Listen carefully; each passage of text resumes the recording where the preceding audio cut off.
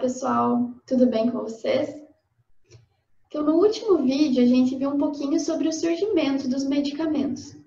Como das plantas a gente foi para dentro dos laboratórios e como a gente começou a produzir os medicamentos da forma que a gente encontra hoje. No vídeo de hoje, a gente vai falar de alguns termos, definições importantes para entender o processo de desenvolvimento de um medicamento. Então, a maior parte dos termos que eu vou falar, provavelmente a maioria de vocês usa no dia a dia ou pelo menos já ouviu. Mas muitas vezes eles ficam confusos e hoje a gente vai conceituar exatamente o que cada um deles quer dizer. Certo? Eu sou a Nathalie Granzotto, sou farmacêutica, mestre em farmacologia e atualmente eu faço meu doutorado também nessa área na Universidade Federal de Santa Catarina. O primeiro termo que eu queria falar para vocês hoje é o termo remédio. A gente usa muito esse termo no dia a dia, mas vocês já pararam para se perguntar o que significa exatamente o termo remédio? Então, quando eu vou na farmácia e encontro aquelas caixinhas de comprimidos, cápsulas, as pomadinhas, os colírios, preparações nasais, tudo isso é remédio, certo? Certo. Mas e o chá que minha avó prepara quando eu tenho dor de estômago? Ou o chazinho de camomila que eu faço à noite, o chazinho de hortelã que eu faço para me acalmar, para dormir melhor? Ou ainda aquelas preparações a partir de plantas, os emplastros, que antigamente eram muito comumente colocados sobre as feridas, para evitar que elas infeccionassem ou para ajudar na cicatrização. Tudo isso também é remédio? Sim, tudo isso também é remédio. Mas vocês já ouviram falar que não há remédio melhor do que o amor? Ou que dormir é um santo remédio? Será que o amor e dormir também podem ser considerados remédios? Sim. O cuidado, o carinho, um abraço, dormir ou até mesmo uma conversa também podem ser considerados remédios. Remédio é esse termo bastante amplo que a gente usa para dizer qualquer formulação, qualquer substância, qualquer procedimento, qualquer cuidado que eu faço para melhorar um desconforto, para aliviar uma dor de outra pessoa, tudo isso pode ser considerado remédio. E o termo fármaco, vocês já ouviram? Então, fármaco diz respeito a uma molécula de estrutura química conhecida. Aqui tem dois tipos de representação de uma estrutura química. Nesse caso é a morfina, que é um analgésico para dores fortes. E essa molécula química tem propriedades terapêuticas, ou seja, ela pode ser usada para tratar ou para auxiliar no diagnóstico de alguma doença. E a cara que o fármaco tem geralmente é essa: ele chega na forma de sal ou pozinho para a gente estudar no laboratório. Mas e o termo medicamento? Vocês já ouviram falar? Sim, né? É um termo bastante comum também. Mas será que é só o fármaco? O fármaco é o medicamento? Na verdade, não. O medicamento diz respeito ao produto final. Então, quando eu vou na farmácia e compro uma caixinha de medicamento, aquilo é um medicamento. Ou quando eu vou num hospital ou numa unidade de saúde e eles me aplicam um injetável ou me indicam uma preparação nasal, um colírio, tudo isso são medicamentos.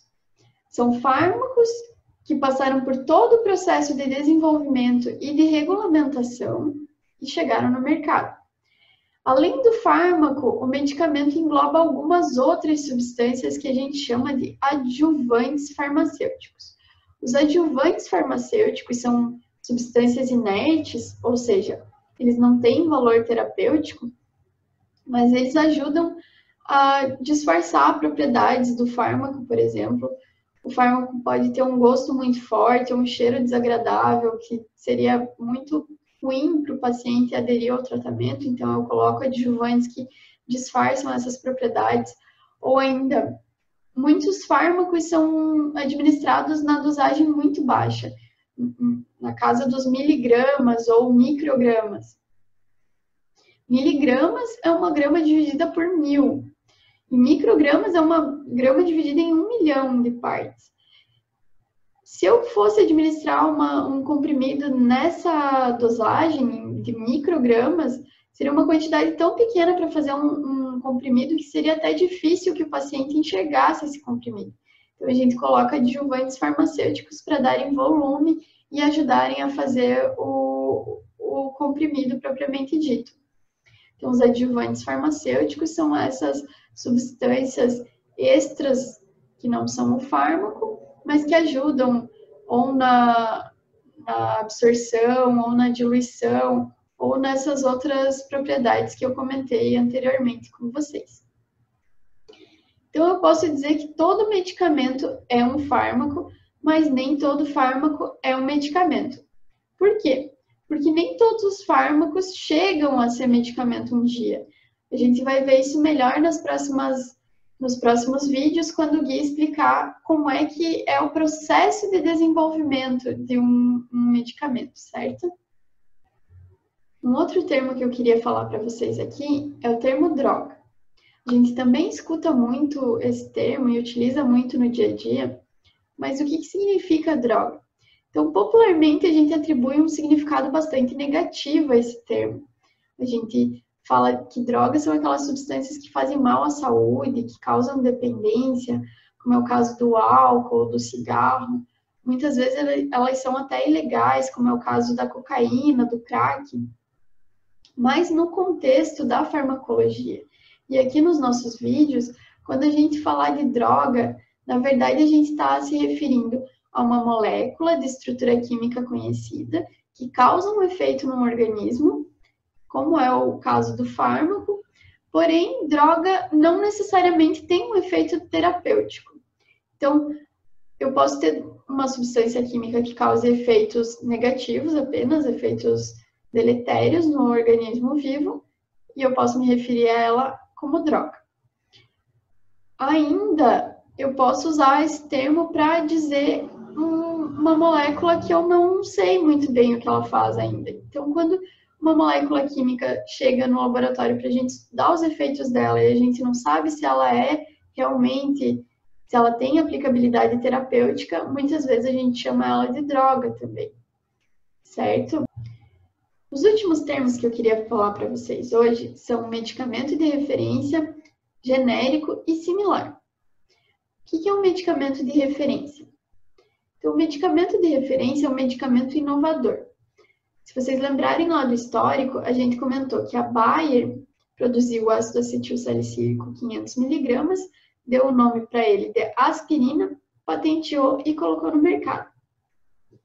Então, o medicamento inovador teve todo o seu processo de desenvolvimento e regulamentação, que é bastante demorado e custoso para o laboratório, e quando ele chega no mercado, ele tem então uma patente. Só esse laboratório pode produzir essa formulação. Porém, com o passar do tempo, cai a patente desse medicamento e outros laboratórios passam a poder produzir essa mesma formulação. Então, um outro laboratório resolve pegar a receitinha do ácido acetil salicílico 500mg e fazer um medicamento igual. Ele tem a mesma forma farmacêutica, as mesmas indicações terapêuticas, os mesmos efeitos. E esse laboratório, para desenvolver um medicamento chamado de genérico, tem que mostrar para o órgão regulatório que ele é exatamente igual ao medicamento de referência. Ou seja, ele é muito, muito parecido. Ele tem que provar a sua bioequivalência. Ele tem que provar que ele tem os mesmos efeitos, o mesmo tempo de ação, que ele é eliminado da mesma forma, que ele chega na mesma concentração onde ele tem que chegar. Então, quando o, o laboratório, aqui nesse caso a AMS, resolveu produzir o ácido acetil salicílico, para liberar esse medicamento como um genérico, ele teve que fazer todos os estudos de bioequivalência. Os medicamentos genéricos não têm um nome comercial, então o laboratório não pode dar o nome que ele quer para o medicamento. Ele geralmente é chamado pelo nome do próprio princípio ativo, ou seja, nesse caso, ácido acetil salicílico. E o que é um medicamento similar, então?